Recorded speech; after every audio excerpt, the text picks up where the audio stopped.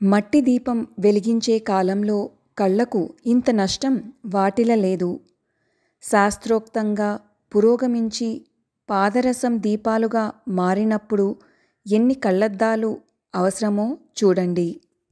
దీని వివరణ ఏమనగా శాస్త్రీయ పురోగతి చాలాసార్లు ప్రకృతి మరియు మానవులపై ప్రతికూల ప్రభావాన్ని చూపుతుంది. దురదృష్టవశాత్తు మనను శాస్త్రీయ పురోగతి ఎంతగా మంత్రముగ్ధులను చేస్తుందంటే దాని మత్తులో పడి దాని చెడుల గురించి మనం ఆలోచించలేము.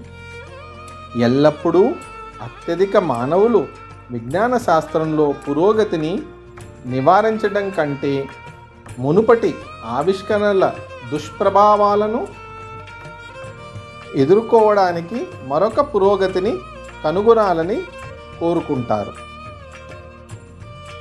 ఈ ఒక చెడు ఆవిష్కరణను ఎదుర్కొనడానికి ఇంకొక చెడు ఆవిష్కరణ ఎప్పటికీ కొనసాగుతుంది. మరియు ఇది ఎప్పటికీ ముగియదు.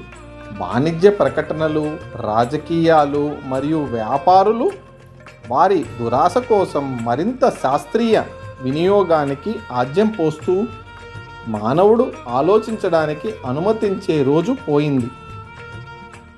అలాంటి ఒక అభివృద్ధిని ఇక్కడ అమ్మ ప్రస్తావిస్తున్నారు. అంటే ఆధునిక లైట్లు కళ్ళకు మంచివి కావు. వీలైతే వీలైనంత వరకు టీవీ సెల్ ఫోన్లు మొదలైన వాటి ఉపయోగాన్ని తగ్గించుకోవాలి.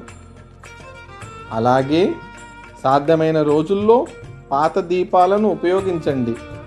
ఉదాహరణకు పూజ గదిలో కేవలం దీపాలనే వాడుకోండి.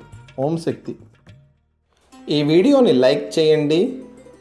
మిగతా వారికి కూడా ఈ లింక్ని షేర్ చేయండి. బంగారమ్మ తెలుగు ఛానల్కి సబ్స్క్రైబ్ చేయండి. బెల్ ఐకాన్ని క్లిక్ చేయండి. ఓం శక్తి.